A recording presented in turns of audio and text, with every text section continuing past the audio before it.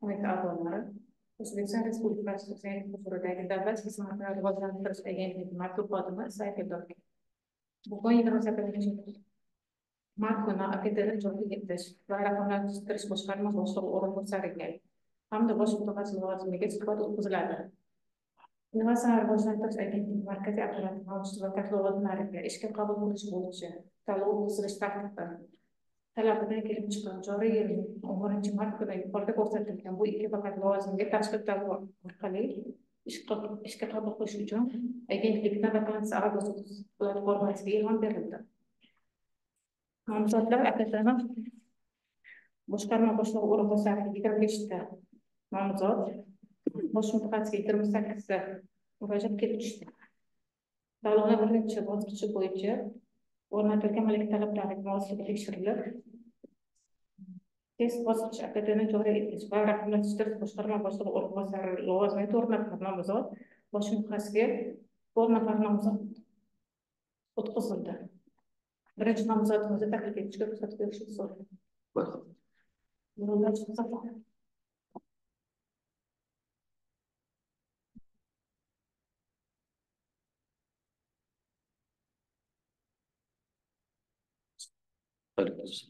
you.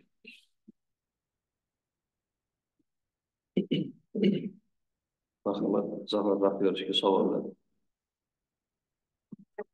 sizlar hozirgi kunda ilm fan va innovatsion faoliyatni raqamlashtirish holati haqida umuman raqamlashtirish bo'yicha qanaqadir platformalar yoki veb saytlar xabaringiz bormi? Bo'lsa qaysilarini misol keltirasiz respublikada ilm fan va innovatsiya sohasini raqamlashtirish bo'yicha bir qancha axborotlar ishlab chiqilgan Э, bulardan ya'ni loyihalar e, muvofiqlashtirish bo'yicha grant minnationini bilaman keyin e, oliy ta'lim va keyingi ta'lim institutlarini faoliyatini muvofiqlashtirish uchun phd minnation bor xalqaro tizim bor. Respublika bo'yicha e, anjumanlar konferensiyalar respublika respublika miqyosida o'tkaziladigan konferensiyalarni muvofiqlashtiradigan anjumanlar saytlar bor. Shu axborot tizimlarini bemalol misol keltirib olish mumkin.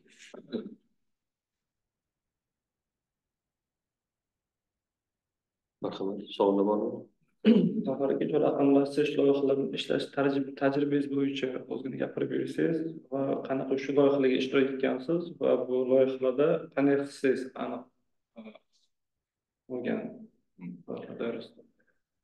loyihalarda mana ko'proq kommersiya loyihalarda ko'p ishtirok qilganman meni asosiy vazifam u yerda o'sha proyekt menejer bo'lgan. Ya'ni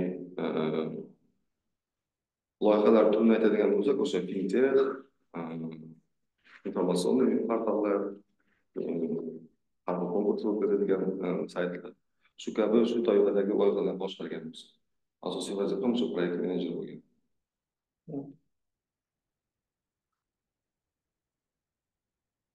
normativ huquqiy hujjatlar loyihalar qaysi platforma orqali vazirliklar bilan kelishadi projekt hujjatlar loyihalari projekt bu uz platformasi orqali vazirliklar bilan kelishishga qo'llanib ishlatiladi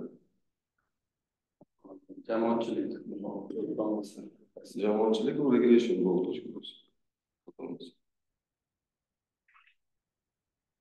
savollar bormi? Ho'p zafar baxtiyorich bilan majbur tizimlardan xabaringiz bor ekan. Nima deb o'ylaysiz? Hozir oldimizda fan va innovatsion faoliyatni raqamlashtirish uchun qanaqa dolzarb vazifalar turibdi? Qaysi joylarni raqamlashtirishimiz kerak? Qaysi jarayonlarni raqamlashtirishimiz kerak? Qaysi jarayonlar bo'yicha alohida axborot tizimlarini qilishimiz kerak? Hmm. Rahmat savolingiz uchun hozirgi kunda deyarli hozir ishlab chiqilgan axborot tizimlar hozirgi kunda o'sha ilm fan innovatsiya sohasidagi munosabatlarni deyarli sakson foizini eng asosiy qismlarini qamrab olgan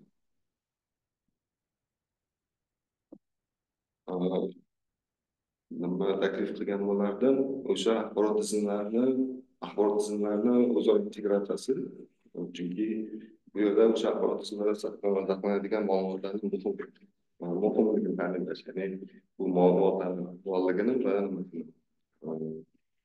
haqqoniyligini ta'minlash shunga ko'proq e'tibor bergan bo'lardik chunki bu ma'lumotlarni ertaga обработка qilish turli gipotezalar chiqarish bo'yicha ko'p narsani qilsa bo'ladi sakson foiz deb gapirganingizda sal batafsilroq to'xtalib o'ta olasizmi?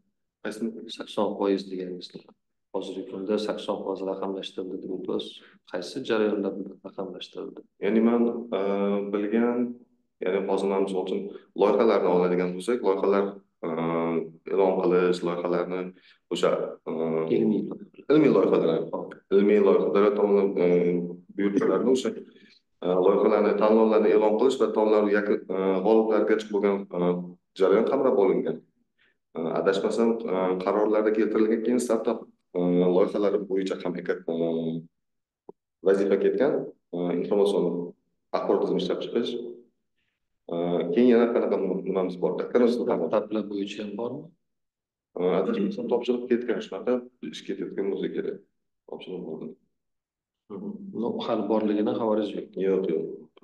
Hop o'shanda bu saksonga kiradimi yigirmaga kiradimi yo'q почти hali hali bor jarayon kirmaydi o'sha yigirma foizga yotadi startap doktorantura bor u ham o'sha sakson foizga kiradi deb aytolishim mumkin keyin yana qanaqa munosabatlar bor edi там boya aytib o'tgan anjumanlarimiz bor u ham sakson foizga kiradi keyin texnoparklar bor texnoparklar faoliyatini muvofiqlashtirish u уже yigirma foizga hali ishlash kerak bo'lgan nima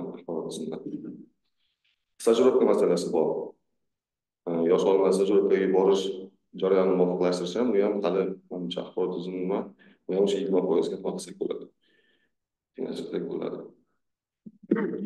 И общий mana shu jarayonlarni o'sha barcha munosabatlarda munosabatlar integratsion bitta platforma manimcha yaxshi bo'ladi. Ishlab chiqish ya'ni как ситуационный центрmi аналитический модульmi bunisi o'sha keyingi bosqichdagi ishlar bo'yicha alohida so'rashimiz mumkin zarur bo'ladigan bo'lsa siz hozir sanaganingiz nima bundoq belgilanyapti ya'ni uchtasini bor dedingiz uchtasini yo'q dedingiz hozir uchtaga uchta bu sakson degan proporsiya to'g'ri kelyapti proporsiya nimadan kelib chiqdimki bu yerda объемdan kelib chiqdim.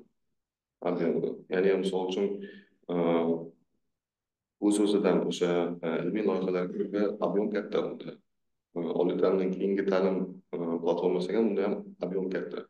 Juda ham nima deydi yil davomida bajaradigan startaplar hamda undan объем kattayu но ilmiy loyihalarga nisbatan nima kichikroq bo'ladi? Keyin nima? Stajirovka unga ham. Nisbatan PhD innovationga объем yoki нагрузка ham nisbat nisbat bo'yicha oldim. Agentlik faoliyat yo'nalishi bilan tanishmisiz tanishmansam hozir mana mana shu uchtani sanaganingiz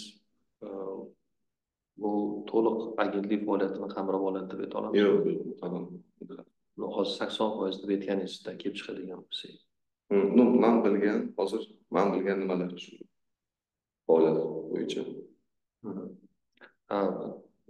Agentlikda yana tijoratlashtirish keyin tijoratlashtirishgacha bo'lgan loyihalarni moliyalashtirish ham borligidan xabaringiz bormi? Ha bundan xabarim bor то есть bu yana qo'shiladi to'rtta. Да to'g'rimi? Keyin agentlik o'n o'ttiz qaror qabul qilingan vazirlar mahkamasini ya'ni bu ilmiy darajaga ega bo'lganlarga o'ttiz oltmish foiz miqdorida ustama belgilash masalasini ham muvofiqlashtiradigan organ hisoblanadi xabaringiz bor bu bo'yicha tizim bormi? Yo'q bu bo'yicha tizim yo'q. Mana qo'shilyapti keyin agentlik tarmoq ular bilan innovatsion faoliyatni rivojlantirishga mas'ul ekanligidan xabaringiz bormi bu bo'yicha axborot tizimi mumkinmi qilsa endi nimaga qarab то есть agar biroz muvofiqlashtirilgan bo'ladigan bo'lsa vazifalardan kelib chiqqan holda ko'rib qilish mumkin Xo'p, mana qo'shilyapti yana. Ha? Xo'p, keyin e, agentlik hududlar bilan ishlaydi. Innovatsion faoliyat, innovatsion hududlar bilan. innovatsion hududlar ekansan, innovatsion tumanlar. Bittasi Andijonda bo'lsa, bittasi Qoraqalpoqda bo'lsa. Bu har doim xizmat safari bilan bo'ladigan bo'lsa, xarajatlarni ko'payib ketadi. Bunda ham bironta axborot tizimiga zaruratni ko'rmayapmizmi? endi bu bo'yicha man hozir nimani deb aytmoqchiki sal qo'yilgan vazifani to'liqroq tushunib olsam keyin aytolishim bu qaysi qaysi jihatlarni misol uchun raqamlashtirishimiz mumkinligi Shuning uchun so'radimda, agentlik faoliyati bilan tanishmisiz dedim. to'liq hozir misol uchun hozir mana sanam to'liq hali sen asosiy nimalarni yo'nalishlarini Ho'p, Muzaffar Baxtiyorovich, endi oxirgi savolni berib bo'lmasam. Ho'p, mayli faraz qilaylik, biz sizni hozir ko'rilayotgan lavozimga qabul qildik. Birinchidan ishni nimadan boshlaysiz, ikkinchidan bizga nima berasiz? Birinchidan o'sha boshqarmaga qo'yilgan vazifadan tanishib chiqardim bunday o'rganib chiqib o'rganib tanishib chiqishdan boshlaydim Qancha vaqt kerak bo'ladi sizga buning uchun? Ya'ni- bir- birinchidan, ikkinchidan deb aytmadim-da. Ha? Qancha vaqt kerak bo'ladi o'rganib chiqishingiz uchun? to'liq faoliyatni o'rganib nima qilish uchun konsepsiya agar bor bo'lsa o'sha o'rganib chiqish uchun bir hafta maksimum ikki hafta ketishi mumkin Ikki hafta ko'p. Bir hafta mayli. Ana, keyin keyin основной bir zadachadan kelib chiqqan holda уже strategiya chegasi bor bo'ladigan bo'lsa strategiya chegasini ko'rib chiqib qadam qadam nimalar bajarishni u bo'yicha o'sha takliflarni berib chiqardim Ikkinchisi, siz bizga nima berasiz? Sizni shu lavozimga munosib deb qabul qiladigan bo'lsak. birinchi e, o'sha biz ishlab chiqayotgan axborot tizimlarini o'sha normativ правовой aktlar bo'yicha nimasini ko'rib chiqardim munosabatlar ko'rib chiqardim to'liq shu bo'yicha ishlayapmiz va reglamentlar bo'yicha solishib chiqardim Yo'q, yo'q, men hozir nima qilasiz degan ma'noda so'ramayapman. Mhm. Nima berasiz? Bizga nima berasiz? Sizni bu yerda ishlaganingiz bizga nima naf beradi? Nima natija berasiz? Stolni ustiga, допустим, bir oydan keyin, ikki oydan keyin, yarim yildan keyin, bir yildan keyin, yilni oxirigacha nima berasiz? Nima qo'yamiz? Mana Zafar Baxtiyorovichni nomzodini ma'qullaganimiz bekor emas ekan, mana shu natijalarni berdi deb nima berasiz?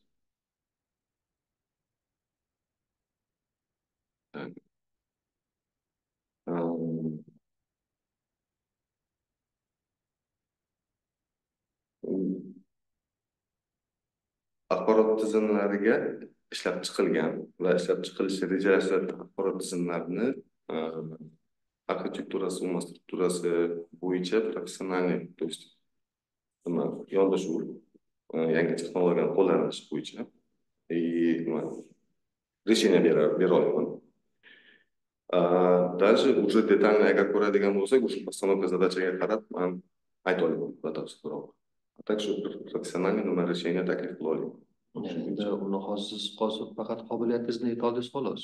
Lekin nima natija berasiz?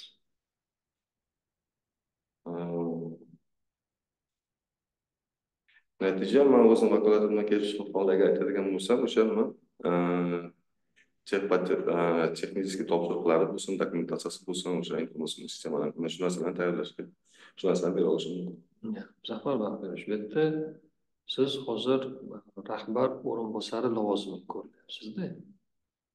Siz наемный работник lavozimiga ko'rilmayapsiz.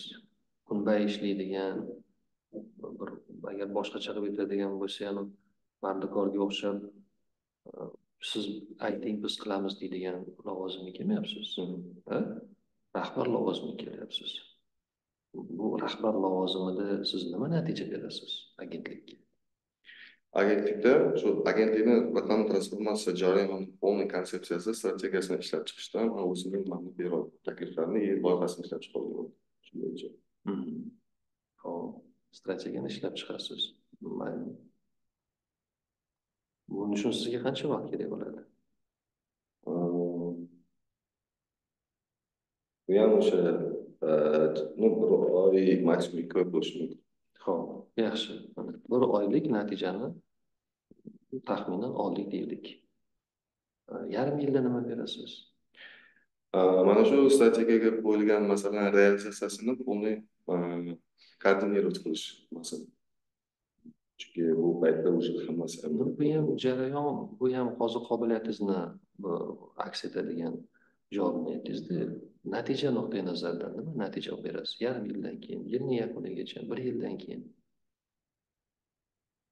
Yarim yilda o'sha действующий ishlab turgan informatsion sistemalarni barligini ko'rib chiqib ularni takomillashtirish bo'yicha yangi nimalar nimalar qo'shishimiz mumkin endi ishlab chiqayotgan axborot tizimlari bo'yicha o'sha qanaqadir MVP kichik prototipini уже yil yakunigacha запустить qilishimiz mumkin Tushunarli. Tushunarli. Так, savollar yana bormi? Xodimlar bo'yicha nima deyapsiz? Buni boshqa bo'lmasın. Xodimlar shu tomondan. Mana shu.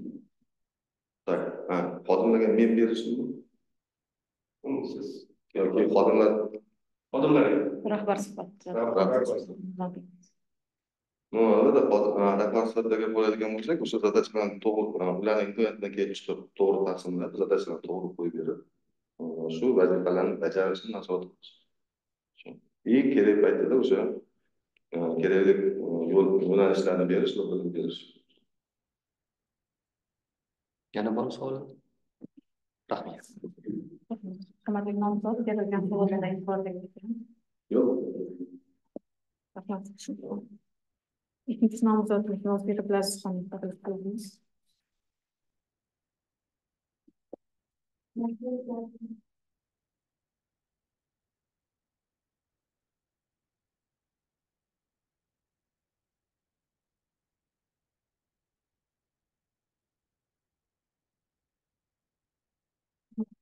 a'zolari o'zbek bilan jarayonga qatnasholmaganlar keyingi nomzodimiz ahmedov sherzod otalovni taklif qilamiz Nasoratdan qatnasholmaydi. Siz yo'qmi?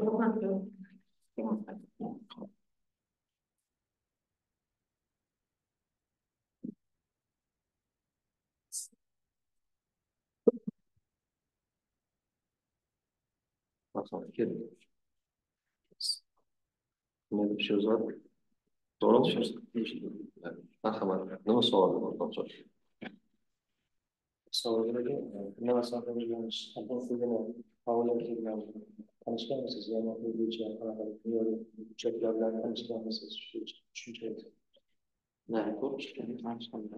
Odat o'zi birinchi innovatsiya vazirligi ikki ming o'n yettinchi yilda yigirma to'qqizinchi noyabrda ellik uch to'rtoyev prezident farmoni tashkil qilingan keyin endi yaqinda o'sha ikki ming yigirma ikkinchi yil ikki ming yigirma uchinchi yil boshida ma'muriy islohotlar doirasida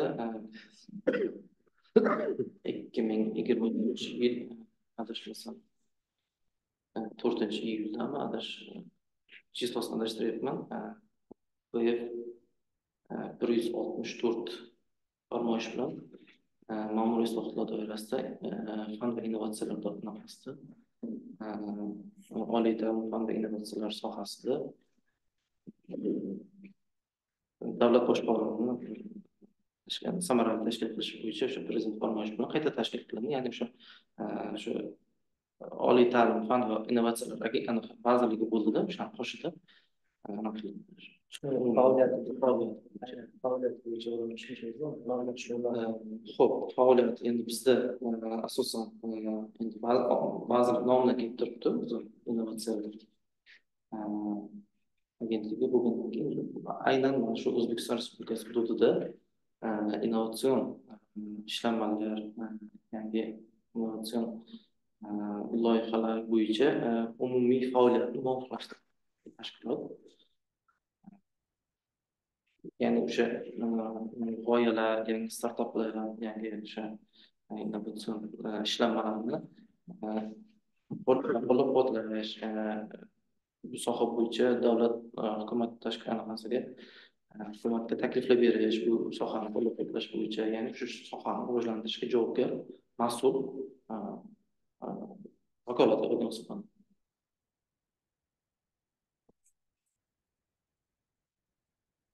marhamat savoli bormi hozirgi kunda fan innovatsiya sohasini raqamlash raqam raqamli texnologiyalarni qanaqa darajada deb o'ylaysiz? Va agarda bu lavozim keladigan bo'lsangiz mabodo qanaqa taklif taklif qilgan bo'lardi shu raqamlashtirish bo'yicha ilm fan innovatsiya sohasini rivojlantirishga? Raqamlashtirish bo'yicha endi bizda o'zimizda aynan judayam yaxshi e, tendensiya bor. Yaxshi strategiya ham qo'yilgan hozirgi bu endi bu asosan shu raqamlashtirish e, vazirligi shug'ullanyapti shu bilan birga shu innovatsiya e, e, agentligi bilan hamkorlik. E, Menda qanaqadir bilmayman balkim bordir qanaqadir o'zaro nima deydi hamkorliklar lekin e, kamroq chunki bizda asosan butun dunyo bo'yicha asosan hozirgi kunda ishlab chiqilayotgan innovatsion E, ishlanmalarni bir taxminan bir oltmish yetmish foizi asosan IT texnologiyalar bilan bog'liq. IT asrida yashayapmiz. Demak e, innovatsiya e, innovatsion agentligi ham innovatsiya rivojlantirish agentligi ham aynan o'sha IT texnologiyalarga bo'lgan e'tiborni ham ko'proq rivojlantirish kerak. Bundan tashqari yo'q bizga konkret taklif bera olasizmi o'shanda aytyapsizda endi unda umumiy men umumiy masalan chetdan turib bilaman. Tashqarida masalan qanaqa informatsiyalar qilganimiz bor ma'lumotlar masalan ichki e, holatni masalan qanaqadir e, qo'shimcha e, kelishuvlar bor qanaqadir memorandumlar bo'lishi mumkin yoki strategiyalar belgilab olgan bo'lishi mumkin bu narsa bu soha bo'yicha. Yana bitta ta- tashkilot bor intellektual mulk agentligi degan tashkilot bor. Aynan g'oyaviy ishlanmalarga javob beradi. Ya'ni g'oyaviy ishlanmalarni e, tashkillashni yo'qmi hozir tashkilot yo'qmi? Ilgari bo'lardi bilmadim endi. Hozir balki o'zgargandir. Agar o'sha tashkilot agar mumkin bo'lsa endi agar bo'lganda shu innovatsiya agentligi huzuriga o'tkazish bo'yicha qanaqadir yoki bo'lmasa ular bilan ko'proq e, strategiyani ishlab chiqish bo'yicha g'oyalarni shu IT sohasi bo'yicha shuki ular asosan g'oyaviy anaqalar bilan ishlashadi. Bu shakllar Sizni raqamlashtirgan bo'lardingiz Innovatsiya. fan yoki innovatsion faoliyatni ilm fan va innovatsiya umuman hamma sohani ham raqamlashtirish bu juda foydali emas. uzr bitta savol kelib qoldi ilm fan va innovatsiya sohasi deganda konkret nimani tushunasiz ilm fan innovatsiya sohasi fan orqali yangi ishlanmalar ishlab chiqishda fanni fanni o'rganib shu anaqa tatbiq qilish innovatsiyaga tatbiq qilish ilm fan innovatsiyani subyektlariga misol keltira olasizmi ozgina biza subyektlargami? Ho'p ilm fan va innovatsiya subyektlar adashmasam hozir sizga yo'naltiruvchi savolni beryaptilarda. Bilib olmoqchilar. Ilm fan innovatsion faoliyat deganda qanaqangi faoliyatni tushunasiz? Nimalarni sanab bera olasiz? Ha siz e, Puchon universitetida IT o'qituvchisi ekansiz yo'q to'g'rimi o'sha asosiy ish faoliyatim bo'lmagan bu asosiy ish faoliyatim innovatsiya texnologiya strategiya markazida ishlab turgan paytimda bir semestr taklif qilgan o'shanda dam olish kunida borib dars o'tganman IT IT bo'yicha dam olish kunimda dars o'tgan shanba yo'q to'g'ri dars berganman shu bir semestr bitta fandan dars berganman dars bergansiz ya'ni ta'lim jarayonida qatnashgansiz shunaqa? Hop, ta'lim jarayonida qatnashgan baribir ilmiy jarayondan ham boxabar bo'ladida mana shu jihatdan ham hozir endi yo'naltiruvchi savol beryaptilar. Avvalgi savolga qoniqarli javob bermagani uchun sizni bundoq qani subyektlarni bilasizmi o'zi? U nima ish qiladi o'zi subyektlar degan ma'noda hozir yo'naltirib beryaptilar. Subyektlari e, uni qanaqa yo'nalishlari bor faoliyatni nima mana shu falon bir biron bir faoliyat bilan shug'ullandi deganda biz uni ha bu ilmiy faoliyat bilan shug'ullanyapti yoki bo'lmasam bu innovatsion faoliyat bilan shug'ullanyapti deb aytishimiz mumkin. Qanaqa faoliyatga bor? Ilmiy izlanishlar Misol, e, ko'proq o'sha e, universitetlar shu institutlar fan e, o'sha ilmiy institut bo'lishi mumkin. Masalan o'sha nima deydi shu o'zimizni oliy ta'lim muassasalari bo'lishi mumkin. Ular hammasi o'sha asosan shu ilmiy ko'proq ilmiy izlanishlar bilan shug'ullanishadi bular hammasi endi ularni ilmiy izlanishlar obyekti bo'lishi mumkin o'sha innovatsiya shu fan va innovatsiyani. Ko'proq nima deydi? O'sha Ну, mayli, uni sal boshqacharoq keltiraylik. Endi balkim Shuhrat bu savolni berishi mumkin edi. Ilm fan va ilmiy faoliyat to'g'risidagi qonun bor. Eshitganmizmi qonunni? da Keyin innovatsion faoliyat to'g'risida. innovatsion faoliyat to'g'risida ikki ming yigirmanchi yil qonuni Hop, hech bo'lmasa shu qonundan ham, ikkita qonundan ham gapirib bersangiz bo'ladida. O'sha yerda ham ko'rsatilgandi. Qanaqa u ilmiy faoliyat deganda nima nazarda tutiladi? Innovatsion faoliyat deganda hozir savol berganlari subyektlar to'g'risida ham shu yerda ko'rsatilgan. Faoliyat endi bir soha bo'yicha qanaqadir yangilik qilish endi o'sha shu e, fanni chuqur o'rgangan holda shu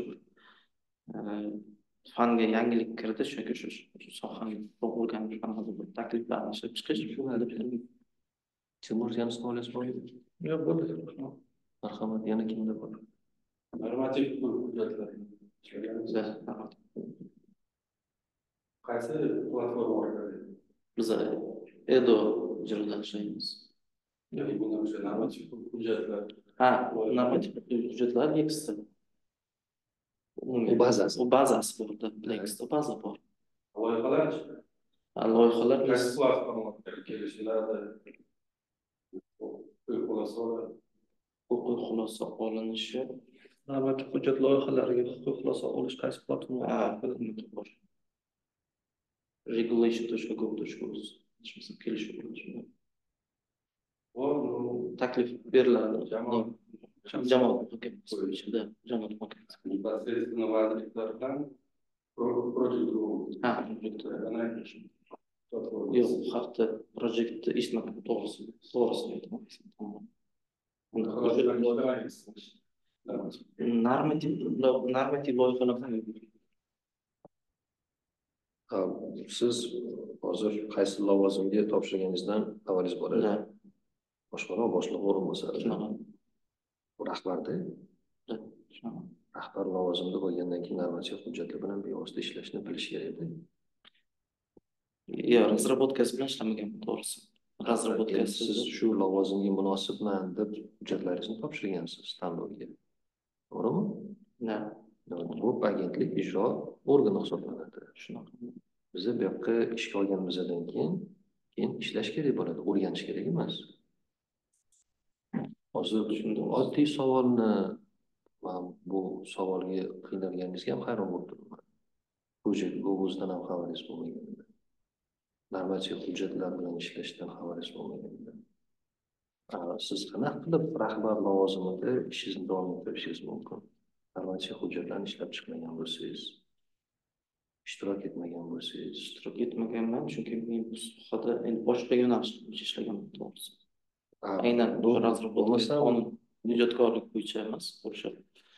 Hop, ijro asosan ijro nimani nimani qaysi o'zingizdagi e, bilim ko'nikmangiz bormi yo bo'lmasam qobiliyatlaringiz bormi shu narsani hisobga olib aynan shu lavozimga munosib deb o'zini ko'rib hujjatlaringizni tanlovga topshirgansiz. Shu lavozimga munosibligingizni nima bilan ifodalab bera olasiz? Menda background deydi o'sha tajribam asosan IT faoliyat bilan bog'liq. Birinchi masala e, agar ITni tushunmasdan turib faqat qonun hujjatlari bilan ishlash bo'lsa ham men o'ylayman bu yoqda qanaqadir e, xatoliklar bo'lib qolishi mumkin. Chunki разработка qilayotgan qonun hujjatlarini разработка qilishda texnologik jarayonni tushunmasdan turib qanaqadir bir loyihaga o'tirish men o'ylayman bu noto'g'ri narsa. Bu birinchisi.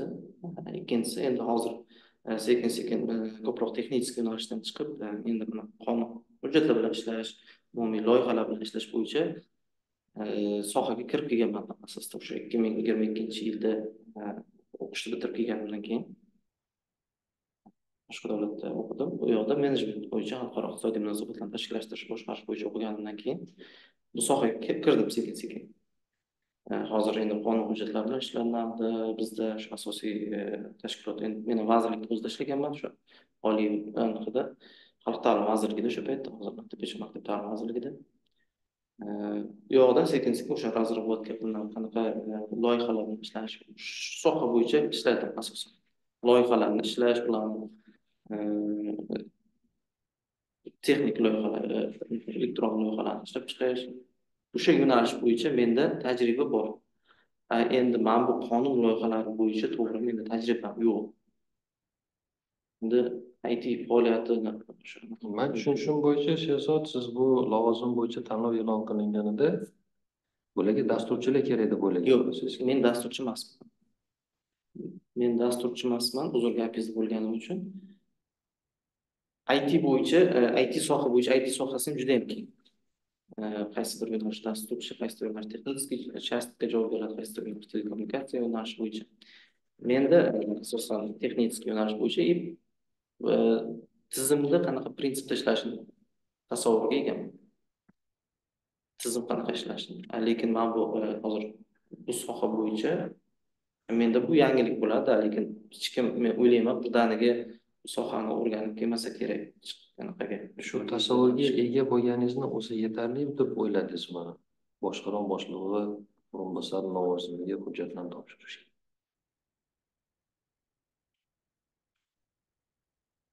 o'zim sinab ko'rdim bu narsa bunaqa emas. Просто sinab ko'rdingiz bu tushunarli narsaga hech kim masalan hech kim e'tirozi yo'q E'tiroz bo'lmasa kerak. vaqtni tejash nuqtai nazaridan yo'q tushundim vaqtni tejash nuqtai nazaridan ham bo'lsa Sinab ko'rdim. men men bu lavozimga loyiq loyiq emasligimni sizlar hal qilasiz shuning uchun o'zim Ну, endi uni bizaga ro'kach qilishni zarurati Yo'q, yo'q, yo'q. uni o'zimiz Hech qanaqasi yo'q. qilamiz bu faqat shu bu yerda yig'ilmadik ham shu narsa uchun ham savollar bormi yana hurmatli nomusa berilgan savol edi yo'q e'tirozingiz emas joyida rahmat kattakon vaqt ajratganlaringiz uchun. Rahmat.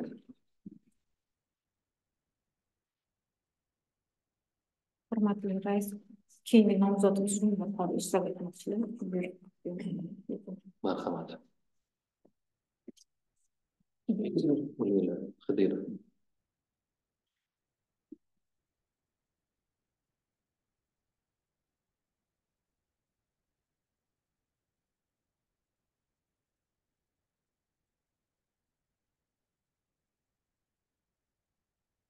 assalomu alaykum. Vaalaykum assalom bezod xolmirzayevich ular eshitaman marhamat. Nomzodga nima savoli bor?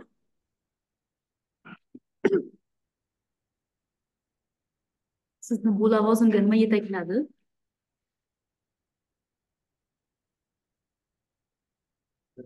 Eshitilmadi tushunmadim. Ushbu ushbu lavozimga sizni qanday tashabbuslar yetakladi deyman. Ilm fan va innovatsion faoliyatda qandaydir e, bir yangiliklar yoki o'zizni biron bir tashabbusingiz bormi raqamlashtirish bo'yicha? Men o'zi mutaxassisligim bo'yicha shu sohani tugatganman. E, axborot texnologiyalari va rivojlantirish vazirligi surxondaryo hududiy boshqarmasida sakkiz yil faoliyat olib borganman shu soham shu sohaga qiziqqanim uchun mana shu yo'nalishni tanladim sizlarni akti bo'yicha.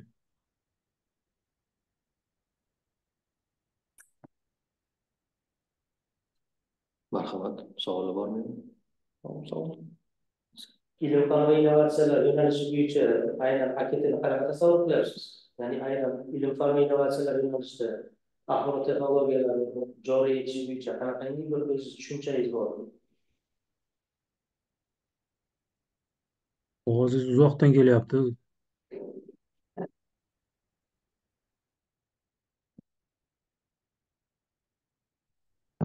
Va innovatsiyalar yo'nalishi bo'yicha axborot texnologiyalarini joriy etishda qanaqangi tushunchalaringiz bor? Yoki ilm fan va innovatsiyalarga qanaqangi yo'nalishda bu axborot kommunikatsiya texnologiyalarini joriy etish mumkin deb hisoblaysiz hozir bugungi kunda xabarlarimiz bor IT eksport rivojlanmoqda mamlakatimizda. Shu shu jumladan shu innovatsion loyihalar eh, startap loyihalar shu bilan birga rivojlanyapti shu shularni rivojlantirish uchun bu IT eksport IT eksportni rivojlantirish muhim deb hisoblayman. Ilm fanda qanaqa axborot kommunikatsiya texnologiyani joriy qilish kerak deb o'ylayapsiz? Ilm fani hammasi ham eksport bo'lavermaydiku. Ilm fanda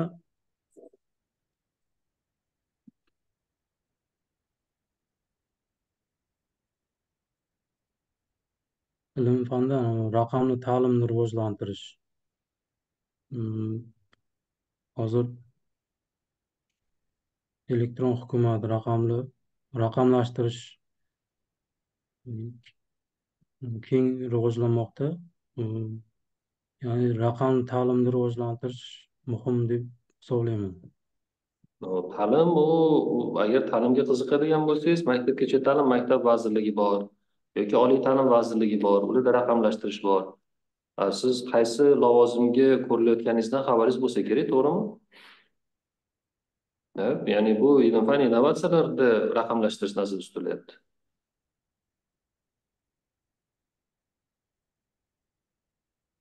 yo ilm fan deganda siz ta'limni tushunasizmi? Yo ta'lim deganda ilm fanni tushunasizmi? Ilm fan deganda o'zi nima tushunchangiz bor? Nima bu ilmiy faoliyat ilmiy faoliyat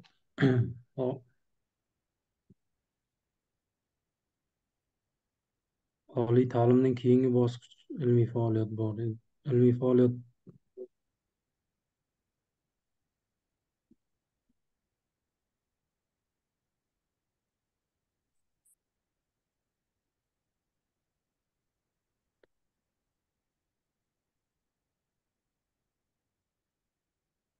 man manimcha juda qiyin savol bermadimu? Juda qiyin savol bermadim shekilli. Juda o'ylanib qoldim. sohani tartibga soladigan ikkita asosiy qonun bor. Shu qonunlardan xabaringiz bormi? Innovatsiya to'g'risidagi qonun. Innovatsion faoliyat to'g'risidagi qonun. Innovatsion faoliyat to'g'risidagi qonun. Ikkinchisi e, hozir qolganmi shuni da mayli qo'yaveringlar foydalanaversinlar mayli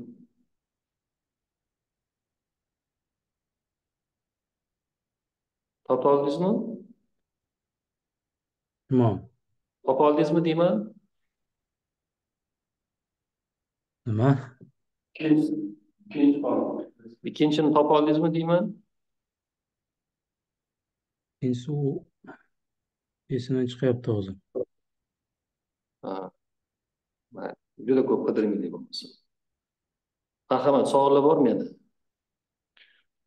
Chetarmi?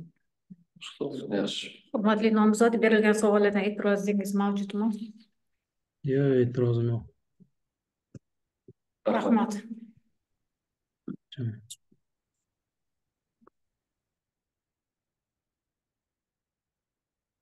Eng nomzodlarimiz, bosh mutaxassis nomzodlari.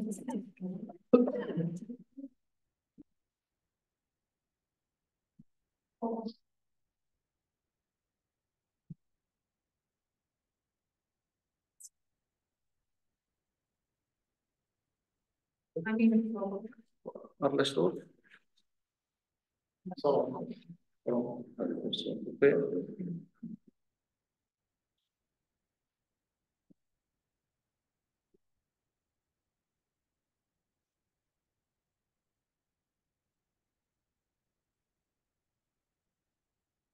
marhamat nomzodga nima savollar bor?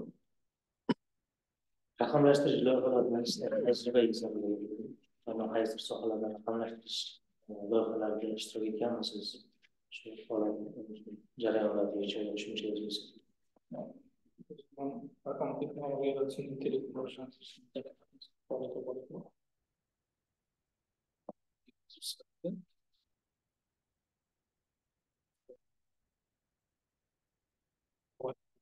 bor. Aynan man ishtirokchi bor. Hisobotlar,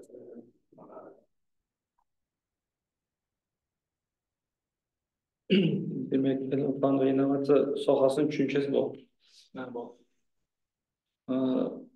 oliy ta'limdan keyingi ta'lim bo'yicha qanday platformalarimiz platformamiz bor bilasizmi oliy ta'limdan keyingi ta'lim to'g'risidagi o'sha nizom asosida ishlaymiz aynan qaysi ishlayman oliy ta'limdan keyingi ta'lim tizimini takomillashtirish to'g'risidagi qaror uch yuz to'rtinchi sonli qaror bilan nizom tasdiqlangan shu nizom asosida ishlaymiz sistemasi PhD PhD Innovations manimcha tashkilotda admin sifatida faoliyat olib boraman sistemasini yaxshi tushunaman sistemasida endi yutuqlari ham bor kamchiliklari ham nima taklif qilarsiz sistemasida masalan monitoring sistemasi monitoring qismini takomillashtirish kerak. Masalan monitoring qismini nizomdagi ta'limlar bo'yicha shakllantirganda o'sha ko'p narsasini qo'lda qilish kerak. Masalan ilmiy rahbarlar qismi. Bir qanaqadir tizimlashtirish kerak ilmiy rahbar bilan masalan bog'laysiz lekin u doktorantlarda ko'rinmaydi. Bir biriga bog'liqlik darajasi nima emasda to'g'ri ayrim joylarda kiritish degan joyi bormi ilmiy rahbar kiritish degan joyi bor. Ilmiy rahbar kiritishda yana bitta muammosi bor shu yerda u ilmiy rahbarni man kirita olmayman masalan man bizda ilmiy rahbar bo'lishyapti undan iltimos qilaman birinchi identifikatsiyadan o'tadi. Bo'lmasam o'n to'rttalik raqami bilan chiqmaydi. Tortolmaydi прямо nfl orqali tortolmaydi joylarni texnik kamchilikda manimcha lekin umumiy o'zi strukturasini ham adashmasam qaytadan ko'rib deb o'ylayman. Mani fikrim mandan yaxshi odam ishlab chiqqanda ancha yaxshi emas marhamat normativ hujjatlar bilan ishlagansiz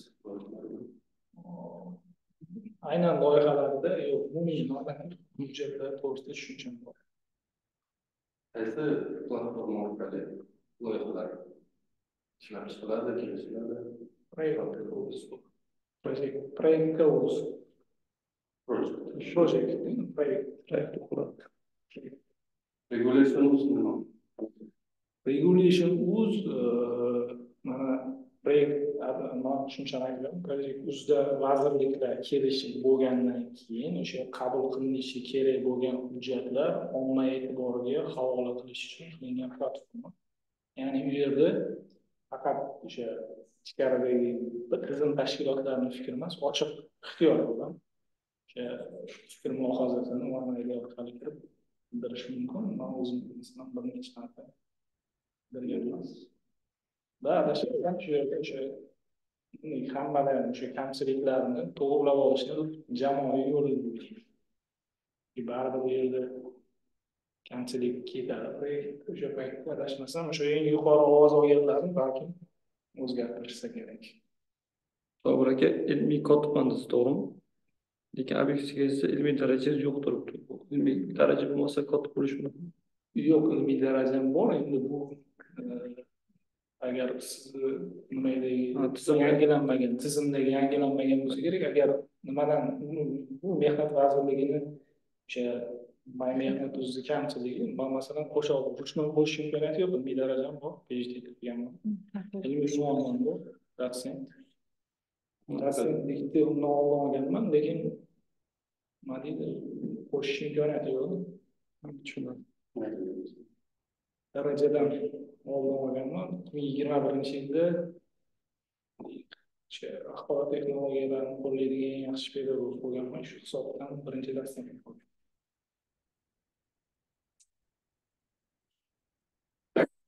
Yana savoli bormi?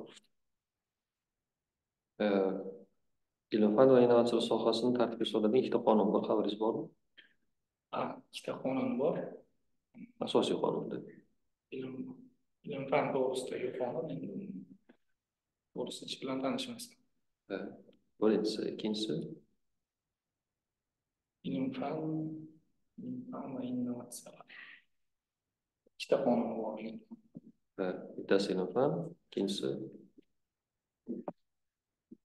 ikkalasi hozir bittami? Ilm fan va innovatsiyalar qonuni.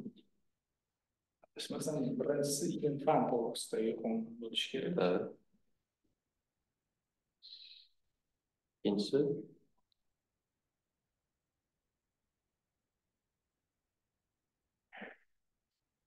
Islomdan hmm, ertalab o'qimdingiz? yaxshi aytgan. Ertalab o'qigansiz hozir esdan chiqib qoldi.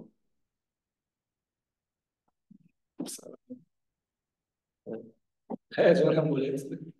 Iftorlik yo'q.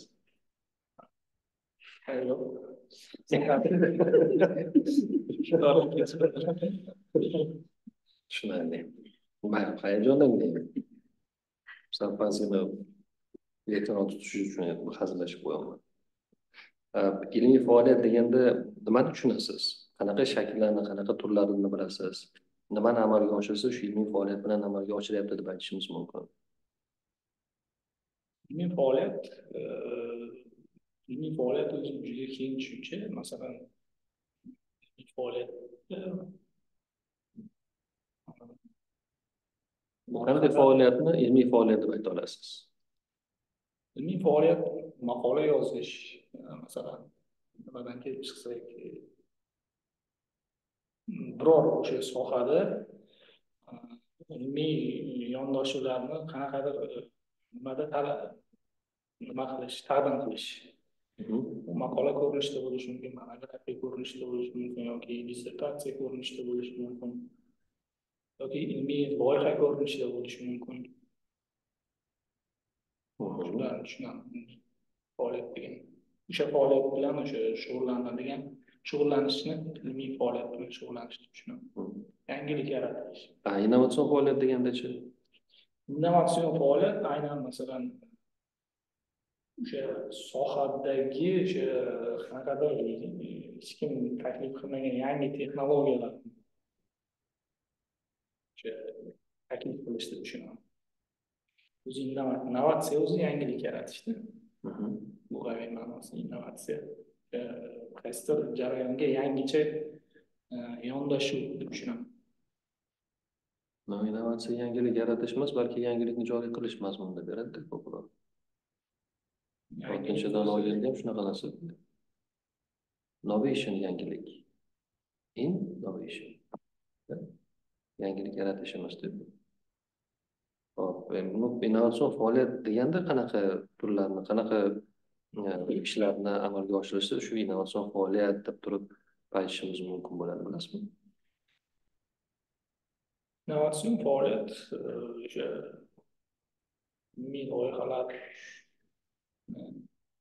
ishlab chiqish va o'sha joriy etish jarayonlarni ham innovatsion o'sha ilmiy faoliyat deyishimiz mumkin. Ilmiy loyihalar o'sha fundamental amaliy ilmiy Bu loyihalar ilmiy. Startap qaysisiga kiradi? startap alohida Alohida. Fundamental emas, amaliy emas. fundamental fundamental amaliy fundamental loyiha doirasida keyinchalik amaliy loyiha bajariladi va innovatsion loyiha alohida startap alohida A, Startap bu qanaqa faoliyat turiga kiradi? Ilmiy faoliyatgami yoki innovatsion faoliyatgami? startap adashmasam innovatsion faoliyatga kiradi Innovatsionga. Mhm. A, Startapdan boshqa yana qanaqa loyihalarni bilasiz? Shu ilmiy ishlanmalarni joriy etilishi mumkin bo'lgan. ishlari biznes inkubatsiyalar bo'lishi mumkin hakatonlar ko'rinishda qanaqa joriy qilish mumkin startaplar Xo'p, mayli. Hmm, mana shu hozir bir nechtasini sanab o'tdingizda. и siz bilan mana suhbatni boshidan boshlagan bo'lsak hmm, bu hozircha faqat PhD innovationni bilishingiz to'g'risida и ba'zi bir fikrlarni bildirdingiz qisman endi may mehnat o'zini ham gapirdingiz projectni ham regulationni ham u bilan endi ilmiy innovatsiya faoliyati emas lekin hozir ilmiy va innovatsion faoliyat bo'yicha sal ozgina ko'proq gaplashganimiz ba'zi bir turlarga to'xtalib o'tdik. Lekin PhD innovation qaysi ilmiy faoliyat uchun xizmat qilishini ham aytmadingiz? Oliy ta'limdan keyingi ta'lim tizimini boshqarish axborot tizimi. Bu ham ilmiy faoliyatmi? Bu ham ilmiy faoliyat. Buni sanamadingiz ilmiy faoliyat sifatida lekin tizimni bilar ekansiz siz hozir mana sanab o'tganlaringiz bo'yicha fundamental dedingiz startap dedingiz amaliy dedingiz va hokazo mana shu hech bo'lmasa sanab o'tganlaringizni qaysilarida axborot tizimlarini takomillashtirishimiz kerak yoki joriy qilishimiz kerak va umuman raqamlashtirish masalasini hal qilishimiz kerak? Tushunishim bo'yicha umumiy boshqarishni raqamlashtirish nazarda yo'q sanaganlaringizni Sa- bir nechtasini sanab o'tdingiz siz? Bilan mana ilmiy innovatsion faoliyat bo'yicha gaplashdik ba'zi bir turlarga to'xtaldingiz shu sanaganingizni o'zidan qaysi birlarini e, mavjud balki bilmadim axborot tizimini takomillashtirish kerakdir yoki yangilarini ishlab chiqish kerakdir? Umuman raqamlashtirish kerak. Qaysilarini? Masalan man o'zim sistemada o'sha ishlaydigan sistemani aytish mumkin masalan vakni o'sha ovak uz interaktiv ovak uz bilan oliy ta'limdan keyingi ta'lim tizimi PhD innovation ikki sistemasi bor ikkalasi umuman bir biriga bog'liq emas o'zi aslida nizomda o'sha bu o'sha uch yuz to'rt asosida doktorantura masalan o'sha nimani yoki tayanch doktoranturani bitirib o'sha bu jarayonda lekin tizimda ikkalasi ikkita bo'lib qolgan.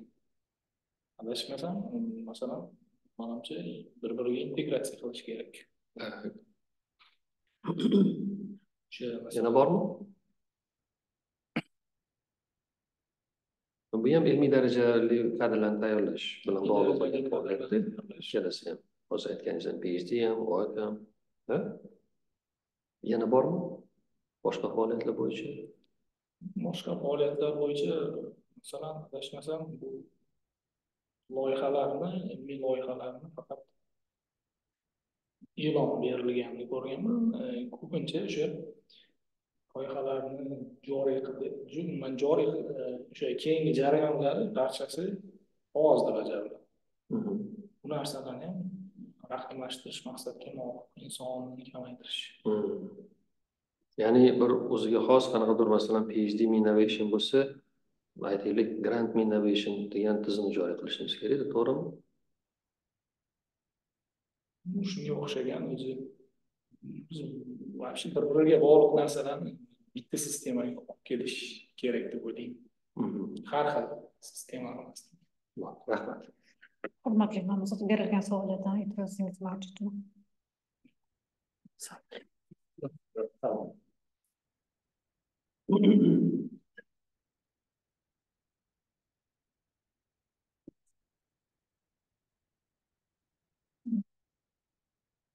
Keyingi nomzodimiz ikkinchi nomzod Muhammadjonov Said Kamolxon Zoom orqali ishtirok etadi.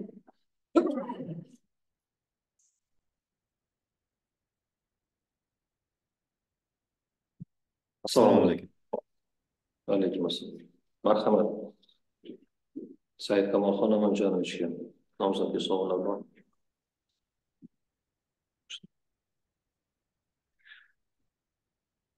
Assalomu alaykum.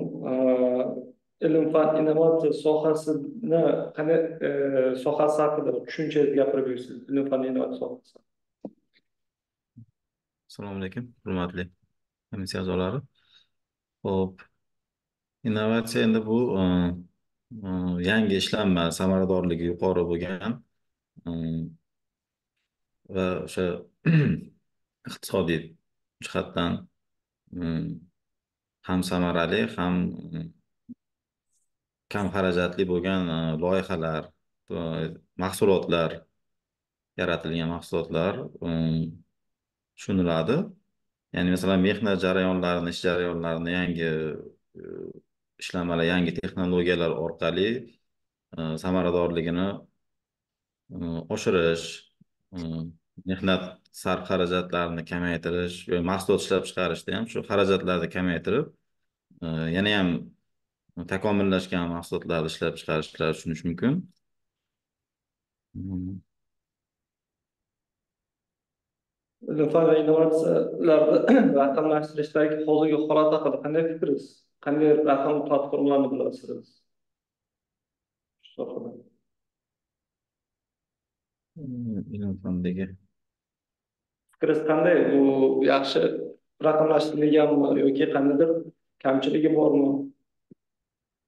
Ozgina anaqa qilganmiz, qiziqqanmiz shu sohadagi raqam platforma bo'yicha ilm-fan innovatsiya sohasidagi.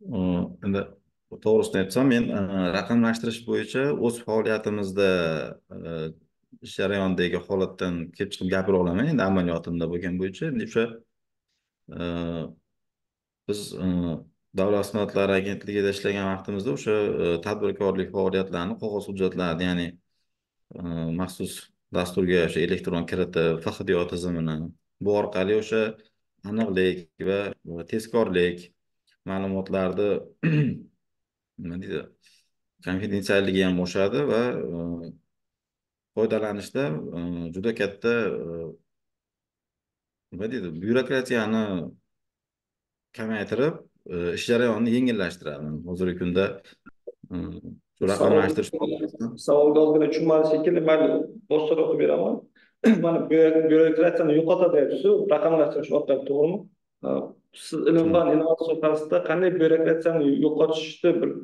taklif qiladi masalan raqamlashtirish orqali agar masalan qanaqadir hozir shunaqa ilm fan sohasida byurokratiya mana shu jarayon sohada bor e, qanaqa jarayonda shuni raqamlashtirish yo'qoladi bir taklif bera olasizmi yoki shunaqa raqamlashgan platformani bilasizmi? Qandaydir platforma yaratildi? Shu byurokratiya yo'qoldi yoki qog'ozbozlik yo'qoldi mana shunaqa faqat ozgina tahlil qilganmiz demoqchiman ozgina. Yo'q endi hozirgi kunda bizda nima yangi ishlanmalar yangi shunaqa ixtirolar bo'yicha masalan e, patentlash e, intellektual mulk bo'yicha e, onlayn bo'lib qoldi masalan litsenziyalar. Hmm, lekin aynan bu sohadagi qaysidir platformada nima qilib ko'rmaganman. Tushunarli proyekt menejerlikni qanaqaligi bilasizmi? Keyin proyekt menejerliklarni vazifalari nimalardan iborat? Masalan siz oydor o'z sohangizga savol beraylik.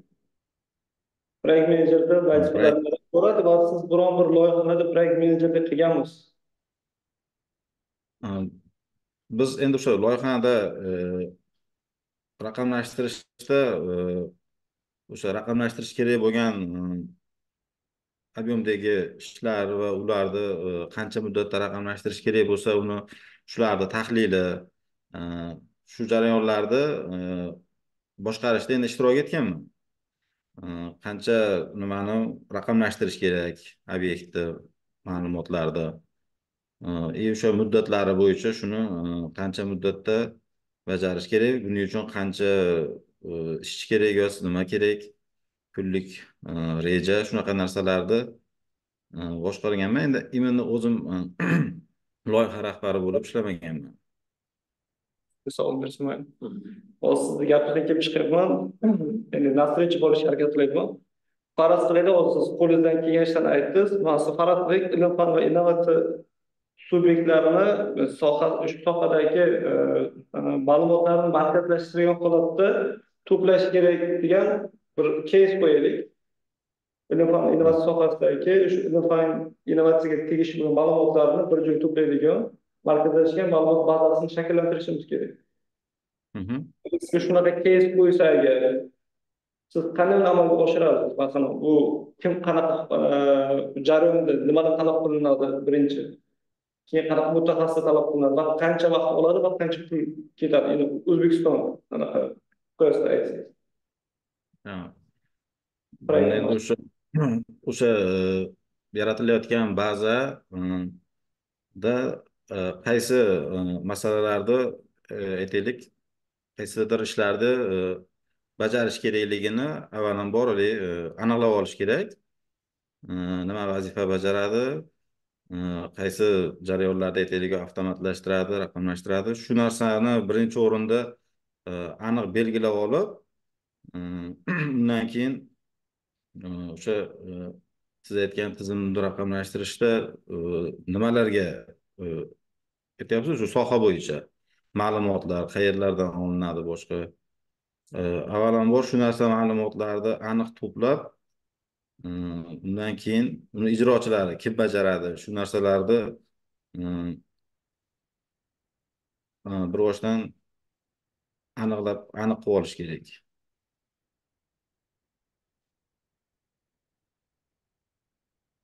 Biron savol marhamat. Mazkur hozir topshirgan lavozimni sizga e, o'zizni qaysi texnik ko'nikmalarimizni e, muvofiq deb hisoblaysiz. Siz texnik ko'nikmalarimiz yoki hozir aytilgan o'sha raqamlashtirish bo'yicha qanaqadir loyihalarda ishtirok etganmisiz? Shu mazkur lavozim uchun texnik malaka ko'nikmalar haqida gapirib bersangiz endi men e, mehnat faoliyatimda asosan endi e, tizim administratorligi bo'yicha ishlaganman. Endi viloyat darajasida ishlaganman. И o'sha ish jarayonida hozir aytib o'tganimdek shu e, tadbirkorlik bazasini va o'sha e, dalolatnoma yozuvlarini e, qog'oz ko'rinishdan elektron ko'rinishga o'tkazishda shu jarayonda e, viloyat darajasida endi boshqarib shuni analiz tahlil qilib borganmiz bajarilishini. Endi men ko'proq endi nima deydi viloyat darajasida ishlaganligim uchun asosan tajribam shunda bo'lgan.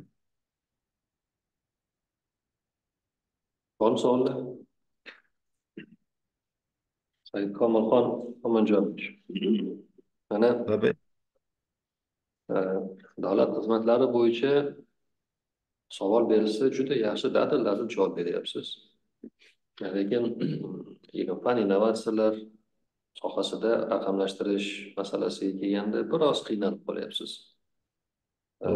Sizga nima sabab bo'ldiki nima turtki bo'ldiki hozir ishlab turgan bir necha mana yillar mobaynida ishlagan tizimingiz bor ekan shu tizimdan boshqa tizimga o'tishga qaror qabul qilgansiz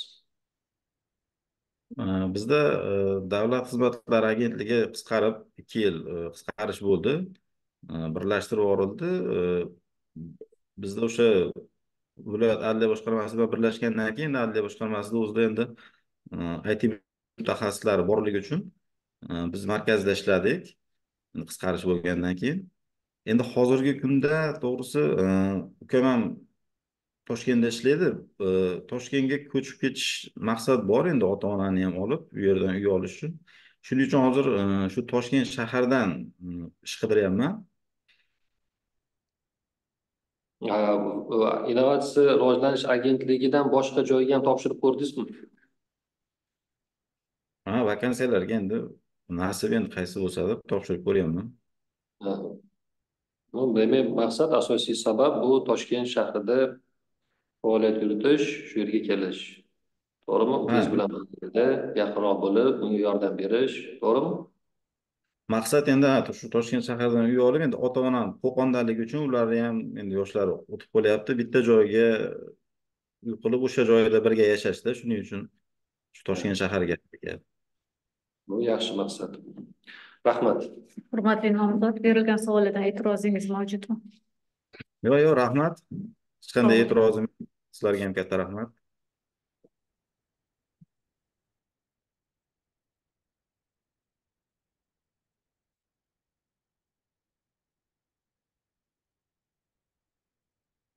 Uchinchi nomzodimiz Muhammadjonov As- Asrorbek Afrorjon o'g'li.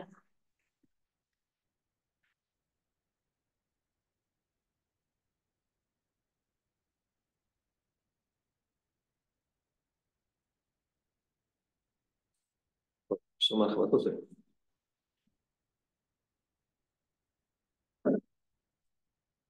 marhamat asrorbek ahrojon o'g'liga savoli bormi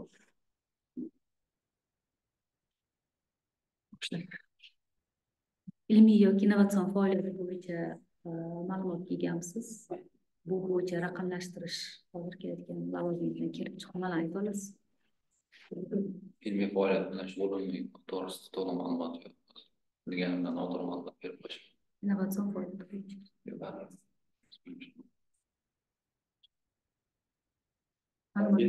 faoliyat yo'q. Asosiy qonun bilasiz. nom o'qiganman lekin olti yuz yetmish bilan besh yuz yetmish to'qqiz respublikasi Nom- nom- ilm fan faoliyatini yuritish to'g'risida innovatsion faoliyat yuritish to'g'risida qonun o'zbekiston Buni bilyapsiz-ku bilmayman deysiz. endi nomini bilmayman to'g'risi ichiga kirib o'qib bu narsani o'zimniki bordi Bu hozir mana hujjatlarni topshirganingizga qancha bo'ldi? Bir haftada. Shu Bir haftada shuni qarab bir ko'z yugurtish imkoniyati bo'lmadimi? ko'z yugurtish imkoniyati bo'ldi Qiyinmidi? inson xotirasi ham baribir tajribaga asoslanadi ko'proq qancha tajribada bo'lsa keyin ko'proq esda qoladi hozir yuzaki o'qiganim bilan Yaxshi. Marhamat. Savol yo'q. o'zi tajribangiz haqida gapiring qani aytyapsiz tajribaga asosan deyapsizku nimalar tajribasi yaxshi qanaqa raqamlashtirish sohasida qanday tajribalarimiz bor asosan e, oldingi ishlagan joyim davlat iqtisodiyot vazirligida ishlaganman bitta asosan e, raqamlashtirish bilan bas tarmoq bilan shug'ullanganmiz xodimlar binosini. Raqamlashtirishga oid e, qonun hujjatlarini loyihalarini joylashtirishda portallar bor edi. Shu portallar bilan ishlaganmiz. Faqat joylashtirganmiz. Joylashtirib loyihasini ishtirok etganmiz. Loyihalarda o'zidan ishtirok etganmiz. Endi biz sohaga oid bir raqamlashtirish joyi kelsa o'shanda ishtirok etamiz.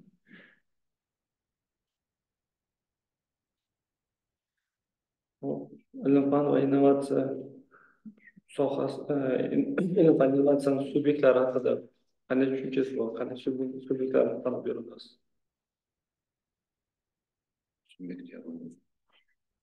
e, bilmagan sohani raqamlashtirish qanday o'zi tasavvur qilyapsiz masalan? O'zini tahlil qildingizmi? Qayerga kelayotganingizni birinchi masalan? Agentlikka agentlikda qanday faoliyat bilan nima bilan tanishdingiz nima bilan shug'ullanayotgan agentlik faoliyati qanday platformalar bor ekan? Platforma haqida ma'lumot bor.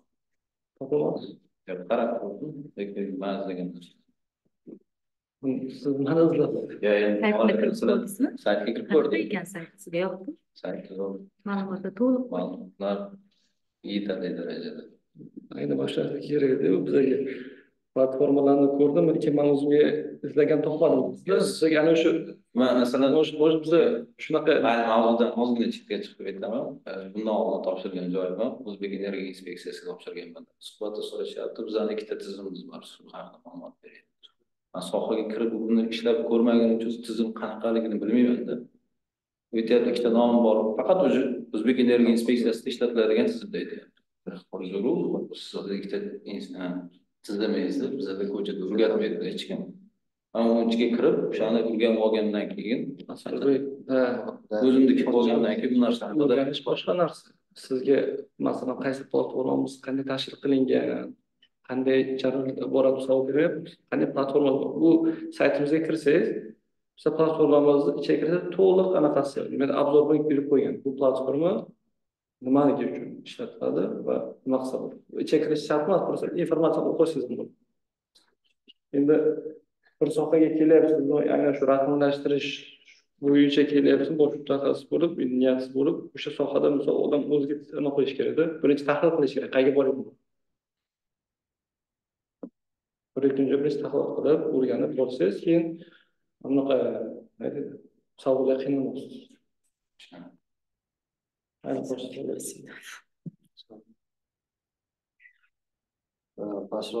bu o'zi sizni nima undadi aynan shu lavozimga topshirishga? Endi ilm innovatsiya sohasida bilmas ekansiz. Lekin hozir mana mehnat faoliyatingizni ko'rib chiqdim. yaxshi raqamlashtirish bo'yicha ishlagansiz, mehnat faoliyati shu bilan chambarchas bog'liq. Qaysi qobiliyatlaringizni inobatga olib, aynan shu lavozimga munosib deb ko'rib o'zini topshirdingiz? Yo biron bir boshqa sabab va maqsad bormi? Endi maqsad, maqsad qanday? Hozir siz so'ragan narsalaringiz e, qonunlashtirish loyihalari bo'yicha ketyapti. Man endi o'ylamayapman. Binoni o'zida paketani joriy etish bo'yicha bir yo'nalishda ishlayman deb niyat qilgandim. Binoda, demak, Asosan ko'proq texnik tarafga urg'u beriladi deb o'ylagandim. Endi qonun hujjatlar bilan ham ishlaganman-ku, lekin sohamiz bu bo'lmagani uchun ichigacha kirib bormagan bu narsa. ha, ha, tushunarli. Endi tushunarli bo'ldi. Bo'ldi, rahmat. Hurmatli nomzod berilgan savollarga e'tirozingiz mavjud. Yo'q.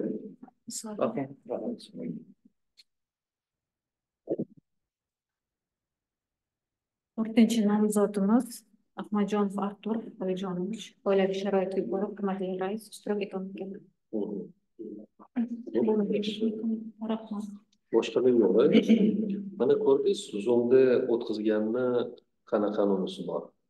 Sizga hozir ikkitasini aytdim, mana hozir yana bittasini ko'rdingiz. Ha?